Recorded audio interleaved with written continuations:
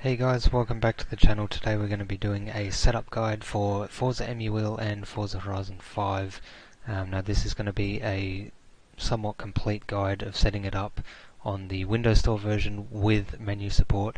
Now this guide will work for the Steam version as well, uh, but you need to find the uh, the directory for where the Steam version installs because I don't have that version, I'm not 100% sure, um, but I'm sure that information will be fairly easy to come by. So basically what we're going to do is we are going to first download VJoy uh, Forza Emuwheel so I'll have all the links in the description as well. Um, but first of all before we go any further um, I think it's uh, about time that the author of Emuwheel really got some recognition and really got some support for the amount of work that he does in the community. He's literally helped thousands of people get their steering wheels working um, for little to no return. Um, so all his software is free. Um, so if you are so inclined to um, help him out, um, feel free to click on the About section and send him a donation.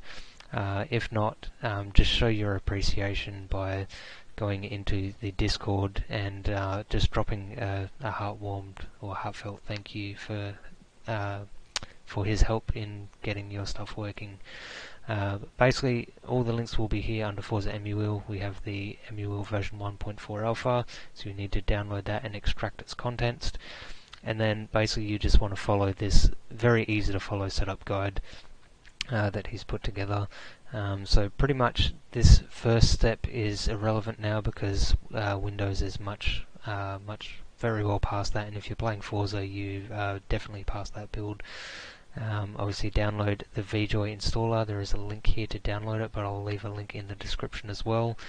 Um, configure VJoy in the same settings as this window. You just want to make sure you copy this exactly. It's pretty straightforward. Just tick all the boxes on the left and right hand side number of buttons 128 POV hat switches 4 directions uh, with POV set to 1 if you do not copy these settings exactly you will get errors in Emuwheel so make sure you do this step correctly. Uh, and then basically just just follow the uh, the rest of the the steps here. It's pretty straightforward. Uh, I'm not going to go too deep into that because it is fairly fairly easy to do. Uh, but once you do have that uh, basically you have your files extracted and uh, VJoy is set up. Uh, you want to run the configurator and map all your controls. I'll just give you this as a quick visual uh, because some people do get confused on this as well so I'm just going to load my config. As you can see you basically map each input by pressing the set button um, until you've mapped all the controls that you have. Uh, D-pad down the bottom here. Um, buttons on the right hand window here. Basically you click set and then select the button from the drop down menu. It doesn't really matter what you set them as but if you want the menu support to make sense uh, as long as you get the view menu A B X Y previous gear and next year gear uh, the menu support will work uh, like it would natively. Uh, so as long as you have the paddle shifters as previous gear and next gear um, and all these set the same the menu support will make sense when you add that in so basically once you have everything mapped and you do want to map every button on your wheel here because if you don't you won't be able to use it in the game click save and then you can close that run hush and make sure your devices are muted. So however many devices are mapped in the configurator uh, Emuwheel or Hush will mute them accordingly. So basically they will not interact directly with Forza anymore.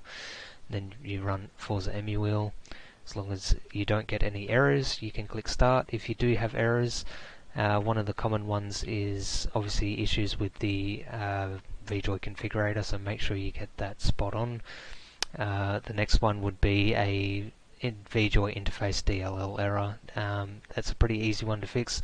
All you need to do is go to, uh, if you leave your Emuwheel folder open, and just go to your C drive, go to Program Files, VJoy, X64, and then just copy, right click and drag the VJoy interface DLL, copy that into here, copy here, and replace the old one. That will uh, cure that issue and then you should be able to start EmuWheel. And once you can start EmuWheel, basically what you want to do is launch Forza Horizon 5. Okay, so once you've loaded into the game, you can go to your controls, custom mapping, go to wheel, and select a custom wheel profile. Now if this doesn't show up, occasionally what you may have to do is just uh, press the left and right arrows on your keyboard and then the custom profile option should show up. And basically just go through, as you can see I've already got mine mapped, um, but just do all the mappings that you need to in order to save the file and then click save and then you can go back and basically what we're going to do right now is close the game and then add the menu controls. So what we want to do uh, for the Windows Store version is we want to go to our app data files so we type percent app data percent and then hit enter and it's going to take us to this file. You want to click app data local packages and then Forza Horizon 5 is now a coded file so it's 624f Microsoft.624f blah blah blah blah blah. So we double click that go to system app data wgs the longer coded file which is your profile. And then we're going to sort by date and our custom controller profile should be right near the top. Uh, so depending on how many custom profiles you'll have it'll be somewhere between 170 to 200 kilobyte and it'll just be a single file with a container dot folder in there as well. Uh, now I'll just quickly show you what it will look like if you if it is the wrong file. If you try to open it with notepad you'll basically get something that will look completely empty or something that is completely encrypted, which is no good for us. So basically what you're looking for is something like this. When you open it with Notepad, it will give you quite clear uh, custom controller text. So what we want to do is find our custom controller mapping. So I've just remapped custom controller profile number 3, so this one here. So what we want to do is find the end of our first context, which is basically the only context uh, the game allows you to map. So here you can see that is the end of the context.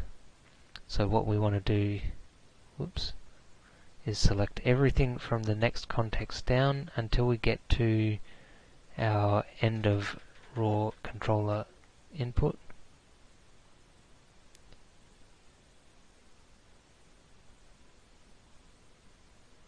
As we keep going down just here. So here you can see we have our next profile. So basically we want to select from just after the end context for the first batch of context which is your just your generic inputs. Um, so select all of that and then download the text file that I have supplied in the description. Copy all of its contents and basically paste it over top of this including the final line uh, raw end raw game controller input mapping profile.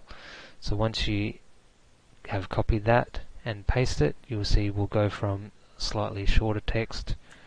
We paste that in. Now we have much more text, which is all of the menu controls. So we can hit save, close that down, relaunch the game, and you should be all set to go.